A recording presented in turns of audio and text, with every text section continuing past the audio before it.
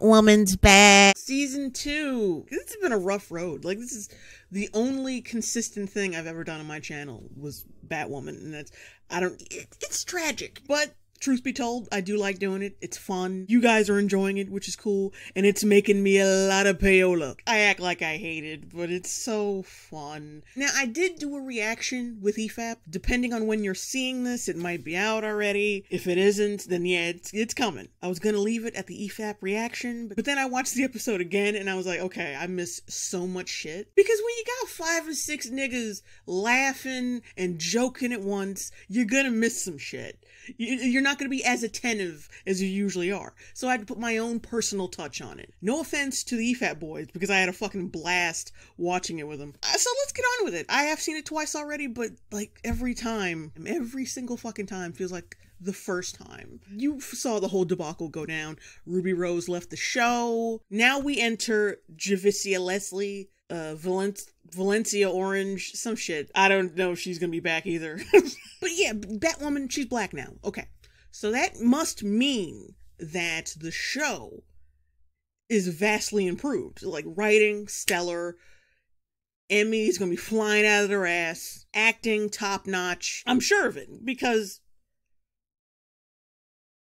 Let's just watch the fucking episode. I can't keep up with this charade. Last season on Batwoman. Previously on that season that I wasn't even a part of. You made me Bruce Wayne. I made me Bruce Wayne. Why does Bruce Wayne look more like the Joker than the Joker? I'm still perplexed by how this bitch is able to keep a lamp running in that van. I think the showrunners and writers are so out of touch they don't know that homeless people who live in cars are not going to waste their battery life over a fucking lamp while they are sleeping when they don't need it. See, this is some shit where, okay, the director was like, look, we need light in this scene. So let's just put a lamp in there, make sure there's no cord showing so no one questions how fucking absurd this is. Oh, aren't we fancy? And your little girlfriends are having an easier time sneaking in and out now. All right, to be honest, what I like about this is that her sexuality so far has not been made a big deal out of. Like, they just it's just a passing pleasant comment like oh you and your girlfriends. She, there's no big fucking pride flag that unfurls behind them. I'll give you points for that. But like i said i don't think it's gonna last because remember the flags from the trailer. They gonna fuck it up. They're gonna fuck it up. It's the same thing i said. Like what the fuck Fucking Armageddon! Ooh. Javicia Leslie is a better actress than Ruby Rose. A little! Kinda. Is Kate there? She hasn't checked in since she landed in National City yesterday. Okay, so now we know Kate is still a dick, like, because this plane is crashing on the way back to Gotham. She had, she didn't even check in with him when she was at her destination. What a bitch! You still a bitch! Damn! Even in the from the grave. Anybody move something? Can anybody move for something? We got like PTSD flashbacks and dreams in the same fucking scene. It's so like janky. Why do they think that's adequate drama? Live! Live, damn it, live! Pudding, come forth towards your destiny. I just saw my future career. It's horrifying. What I love about this is that it's just the suit is just there. It's not in a case or anything. It's just it's just out. Why?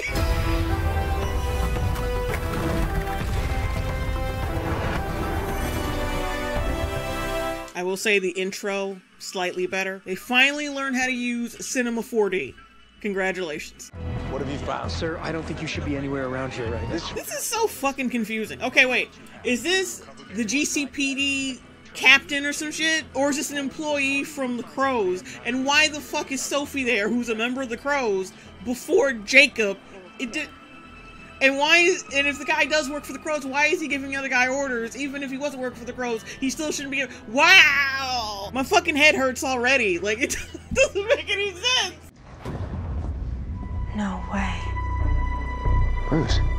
Soon as I heard. I didn't come when the city was in disarray, or when I found out my cousin was killing dozens of people. I came when my ungrateful ass thieving cousin blew up in a plane crash. Alright, this isn't suspicious at all. If anyone can help us, it's you. Oh, really? You're a female Bruce Wayne. I'm not about to let a man take credit for a woman's work. Oh, oh, oh, damn! Really? Because according to the show, Bruce Wayne is about as useful as a condom with a hole in it. You okay?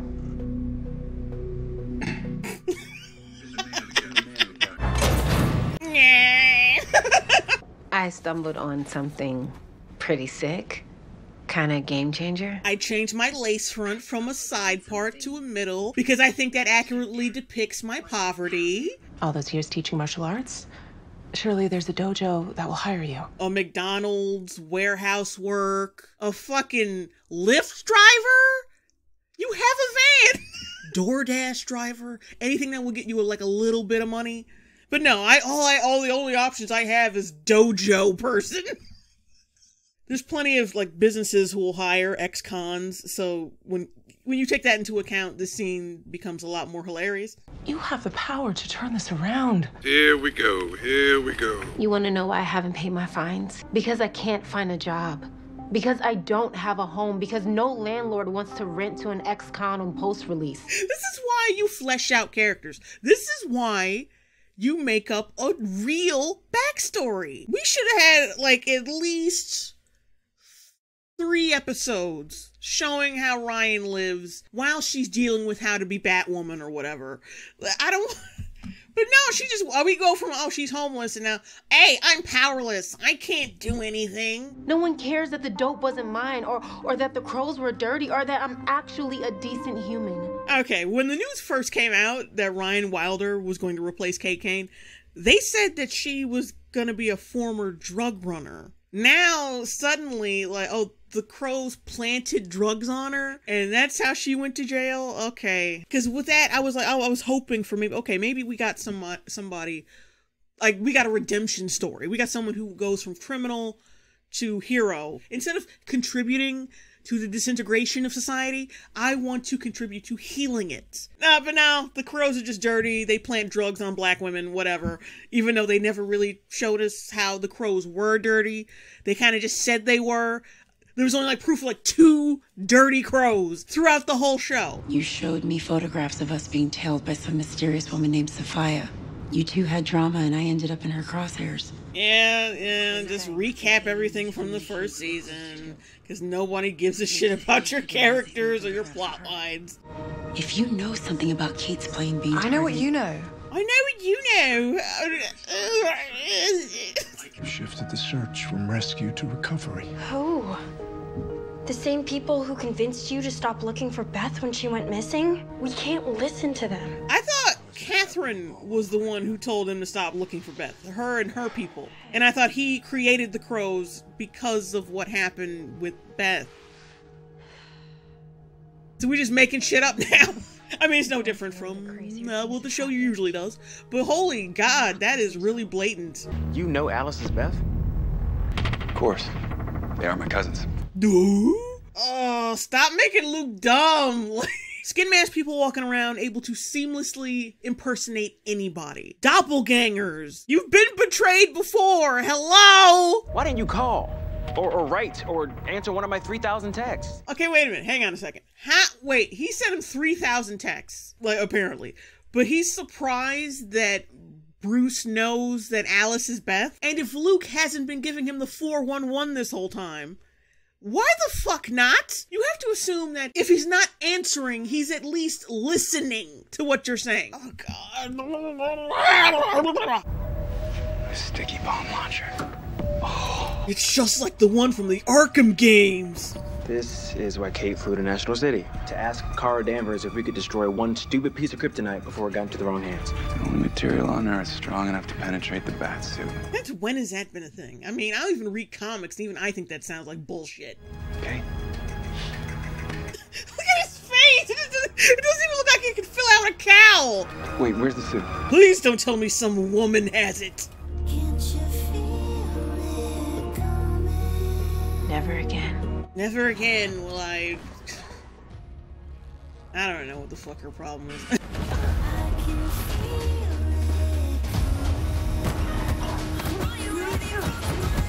what is this fucking music?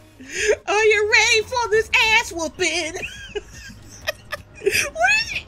Why now? Yeah, I really feel for this character that I got barely any backstory on. All her complaints are, I am poor and my mom is dead. That is it. Do we know about how that influences her drive to be a, to be a hero? No. Time to be powerful.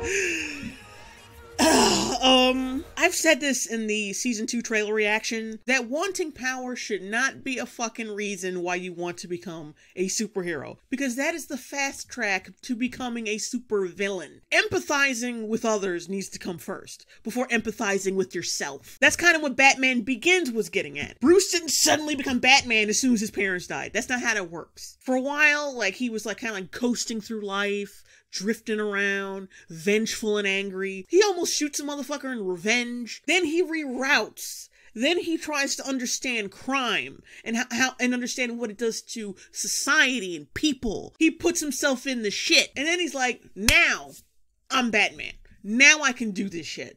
This is like if Batman had, oh, my parents are dead and I'm just gonna live on the streets and be angry all the time. And I hope some powerful weapon that I could use to my disposal to get revenge on those I hate doesn't, doesn't just fall into my lap. Oh, there it is. Now I'm gonna be powerful. Now I'm gonna kill these motherfuckers. I'm gonna give the writers the benefit of a doubt. Maybe she does eventually learn as the show goes on. Um, like I said, I'm gonna give him the benefit of a doubt. But I don't think that's gonna fucking happen because this is Batwoman. The last bitch didn't learn it. so this bitch probably ain't gonna learn it. Boo. Not think that through. No. I give him points because oh, they're making her look imperfect. Okay, fine. You get half a point, but like the other half is gone because anybody would have been smart enough to test the shit out before using it. And I'm sorry, one of those bullets have had to have hit her mouth or any fleshy part of her. A bulletproof bitches. A bulletproof bitches. oh. A bulletproof bitches. Wait, what the? I'm bulletproof bitches. That's the trigger word for like the bat heat vision. Kate. Oh, the suit is on. Oh, you have to turn it on. That that limp ru- rubber suit, you have to turn it on. So now I'm taking what I want. That's a really that music coupled with this scene and what it implies is fucking hilarious. I'm taking what I want cuz I rape these bitches. because I fuck these bitches under false pretenses, so technically it's rape. I'm taking what I want. yeah, families. like, what is this fucking shit? I gotta hand it to you, Tommy. What the hell are you doing here? I Gotham's most eligible bachelors playing Find the tan lines. Why? How is drunk Alice any different from sober Alice? I wanted to kill her myself. And you know what? I'm just gonna fucking skip the scene because I can't. It's getting to the point that I hate the character so much that I'm starting to hate the actress too. Like that's how bad this is. I can't, I can't stand watching it anymore. I can't stand this character anymore. Just get rid of her. But she's a fan favorite. What fucking fans? Hey Bruce, there's no steam coming out of the steam shower. What the hell did you do that for? For no reason at all, because reason doesn't matter. Aha, so quirky, and the writers are basically admitting that she has no motivation as a character. She just does shit to do shit. Because on my planet, you are still Tommy Elliot, and if I so much as breathe word, Bruce Wayne goes from being the meat in a top model sandwich to the guy with a stick for a face. I'm sorry, who the fuck is gonna believe you? I'm sure, pretty sure all he has to do is get cops in his pocket and put out like a fucking hit on you, and it's over. Like you don't have no fucking leverage over him anymore. Why would you make it? That's the thing. That's a, that's the stupid thing about this. Why would you make this nigga the most powerful person in the city? You idiot! Because not only is he Bruce Wayne, he can also be Batman. You made him, but now he can unmake you very easily. You fucking. Get rid of this character. Oh, it smells like bland. Fancy seeing you here. Of course she's there. It's all her character's got. Kate? Kate! You're alive! No. You're black. No. You might as well just give it back now, Miss.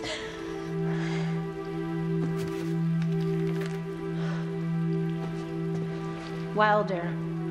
Ryan. What's with the fucking attitude? You stole their shit. Is meant for a hero, not the lost and found. You tell that to the bored billionaire who found it in Batman's lost box? Okay, you threw some shade at Kate for co-opting Batman shit, but you should call it what it is. She stole it. She stole his shit. Like, she didn't find anything, she stole it. Just like you kind of grave robbed her shit. Like, y'all not. Yeah, you think about it, her and Kane aren't really that different. So why do you think you're worthy of wearing it? Because I'm a number. Yes, 24601. I am the 327th baby of a black woman who died during childbirth that year. Even like Mary's like, what the fuck does that have to do with anything? I'm inmate 40757, 18 months for a crime I didn't commit. But I can live with all those numbers because the mama who adopted me, those are number one. And your fucking monologue is number two. This monologue kind of sounds familiar to me. Oh, I got numbers coming out of my ears. For instance, 10. That's how many months old my baby girl is. Or 6. That's how old my other daughter is. 8 is the age of my son. 2 is how many times I've been married and divorced. 16 is the number of dollars I have in my bank account. 8503943. That's my phone number. And with all the numbers I gave you, I'm guessing 0 is the number of times you're going to call it. I see a monologue I wanted painted black. Ooh, ooh, we threw a little bit of shade at our bad writing, the writing that we did last season. This season will be so much better than last one. No, you're just replacing the other bad writing with new bad writing. Instead of Kate Kane saying, I need to be Batwoman because I'm a woman, you got this chick saying, I need to be Batwoman because I'm black and poor. Like, like, you still fucking up. So you can have this damn suit back when her killer is dead. I deserve to be a hero, even though I'm gonna tarnish the name of this hero by murdering a fucking criminal. Uh, okay, whatever. I have a lead on Gotham's most elusive terrorist. Batwoman. I'm referring to Alice. Oh, that chick who killed my wife and kidnapped me and all right, bruh. Bruce. Julia Pennyworth. Julia Pennyworth. Just trying to remind myself of exactly what your name is since I'm not really Bruce Wayne. Because no normal human being says the first and last name of someone they already know. The Kane family has turned their 56th floor Riverside penthouse into a search party headquarters. Hmm. That would be nice. 56 floors up. Talk about optimal sunlight. You live outside! There's more than enough fucking sunlight in your van right now. In her statement, Kate said it's paradoxical to fight on behalf of an institution that sees my sexual orientation as the enemy. Okay, that's kind of badass. Oh, now she's not a privileged white girl because she's gay. that little loophole. and if you remember the circumstances of Kate's dishonorable discharge from the military, this becomes really fucking funny. Let just fuck just go back and watch my reactions for season one. You'll understand how fucked this is. Most recently, she opened the Hold Up, a gay bar that she called a safe haven for anyone looking for their family. Kate's a hero. Even when criticizing how shitty her character is, they still have to boost her and hold her up as this noble creature when she literally fucking isn't. But I'm not surprised that the people who would write season one the way it was don't understand heroism. They don't understand nobility. They don't really understand anything good at all. You're telling me the landlord didn't know a bunch of niggas were squatting in his in his building? And like it's the Wonderland gang. It's not like a couple crackheads in the closets. It's like a whole troop of niggas. Just make it believable so I can feel sorry for your shitty character. Five, six, don't let me live. Don't let me live. Please. Her mom died in her arms. She wants justice. Okay. Which means what? That doesn't automatically make a hero. Because she said she uh, wanted to kill Alice. Now keep in mind, bad people don't kill. I thought we made that a point last season. I'm just reflecting on my career choices thus far. I mean, It's my fault. I was the one hell bent on destroying the kryptonite. It's not noble to take fucking credit for a bad thing you didn't do. It's just annoying. What would Kate say if she knew you were blaming yourself? She'd tell you that there'd be no Batwoman without Luke Fox. No, she wouldn't. She would not. Breath. I saw he had a drink in the commander's office. Ran the glass for prints. Damn. All right, f- finally a character that's fast on their feet. that grin, dude. That's keeping me sane throughout this whole thing. Where is it, pussy boy? Where is it, pussy boy? Is that what he said? oh, that's CGI. I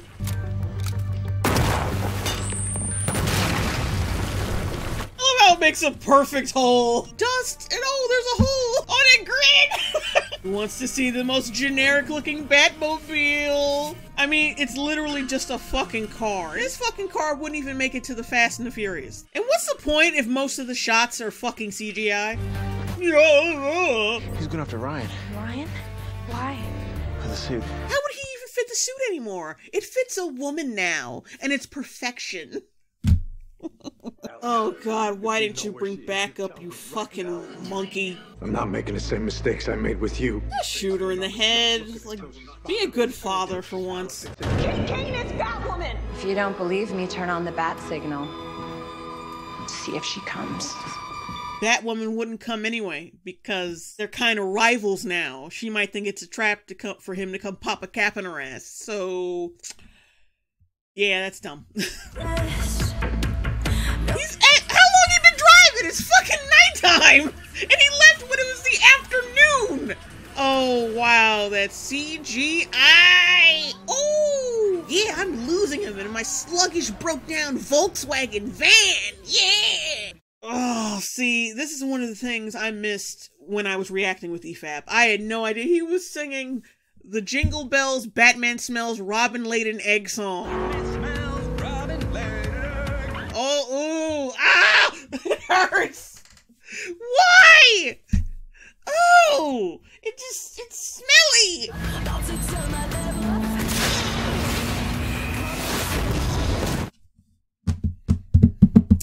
This is so shit. This is such. Here's a sentence I've never said before. Can you hack the Batmobile? Yeah, that's a sentence you shouldn't say at all because he should definitely have functionality through the Batmobile from the control room. Cause that should that should be standard. What the fuck? I'm in. And a lone rocket makes it to the US Capitol. My weak bat chin pisses me off! Oh, they're still using Cinema Sins effects? that is so fucking lame! You're not Bruce Wayne. Mm-hmm.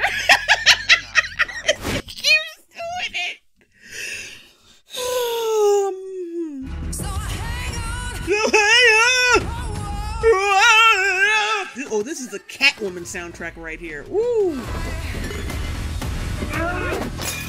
No! it never gets old! That never gets old! no! I will find a way to incorporate that clip in every future reaction. I swear to God. That's fucking hilarious! No!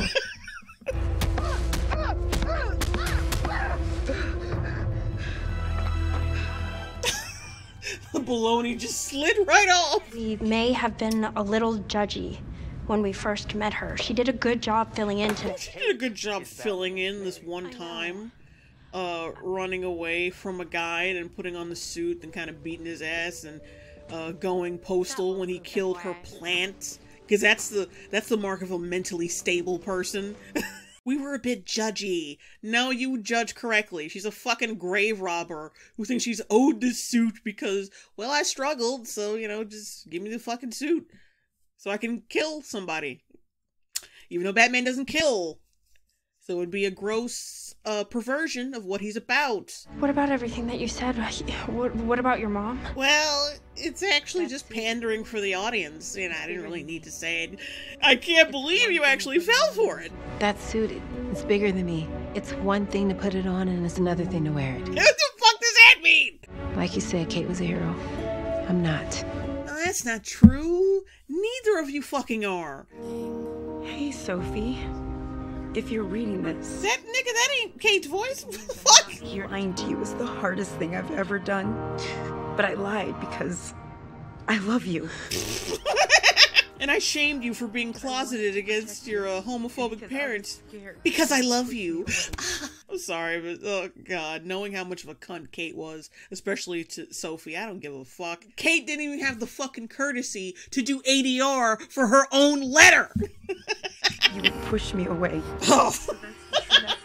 the single tear crying. Oh. Everybody sad, but I don't give a damn. Oh.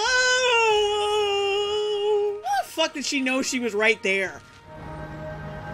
I did the right thing today, Mama. So not only does she talk to her plant, she thinks it's her fucking mother. Right thing tomorrow. That's that's even worse.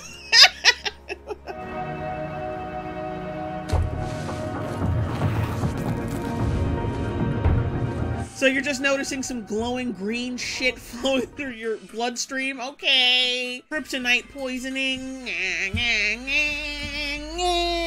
Yeah, so that that's it. Uh, that just as bad as it ever was. Is she a better actress than Ruby Rose? Yeah, kinda, sorta, marginally, a little bit. But because the material is still bad, it doesn't really matter how good of an actress she is. It's like putting lipstick on a pig. It's not going to do anything. I, re- I remember them promising Ryan Wilder was going to be a former drug runner, but they changed that. It's like they were afraid, like, oh, we can't have a black character actually have a background where they might not have been so squeaky clean. So we gotta, like, oh no, the crows just fucking planted drugs on her. I, I'm not gonna lie, I am kind of interested in how they're gonna deal with that kryptonite poisoning thing. And you know it's just gonna be some ridiculous shit. They might use this opportunity to bring back the uh the cure all blood that that uh Mary supposedly has, and she'll give Ryan some kind of transfusion, and, that, and that'll be settled within the first like 20 minutes of the episode. Alice, like I said before, I'm completely done with this bitch. I don't care she's like white noise at this point. Same thing goes for Sophie and Julia. I just watch for the cringe. There's nothing other than that to look forward to. Oh, yeah, and remember when Caroline Dries specifically said she wasn't going to kill off Kate Kane because she didn't want to contribute to the bury your gays trope, but like she slyly very slyly kills Kate Kane off without killing her off. Someone like me, who can decode, um, studio jargon, she definitely killed off Kate Kane. The pirate bitch killed her. She's, she died in that crash she left a fucking note telling Sophie that she was Batwoman. She's dead. She's fucking dead. Like, come on, bruh. This is the guy you cast as Bruce Wayne. He that creepy ass grin. Actually, you know what? To be honest, I that's the only thing I would have been interested in. If they had kept him around to be some kind of like dark Uber Batman, and he goes about as Bruce Wayne trying to take down Batwoman, and he probably says a lot of sexist and racist shit. Like he's just he's based Batman. He's based Bruce. You're like, you want to impress me. If you want to give me that social justice warrior bullshit, even it out with some over the top, like far right leaning crazy shit. Please. Like our new strong, powerful black Batwoman is trying to like is trying to help out the culture and the people. And Bruce Wayne comes out of his mouth with some shit like, now she's got a lot of fro, but not much brains. And he swigs and he takes a belt of brandy. But they're not going to do that. They're not going to make it nice and equal for like maximum entertainment. Of course, they're not going to do that. Yeah, I wish they would have kept him around as like Uber Bruce Wayne. That would have been that would have been funny. That would have been hilarious. So yeah, of course, I'm going to continue on with season two as usual until it's not interesting anymore. But I don't know. I think the cringe might keep my attention. That's it. Thanks for watching, and we'll be back here uh, next week with episode two.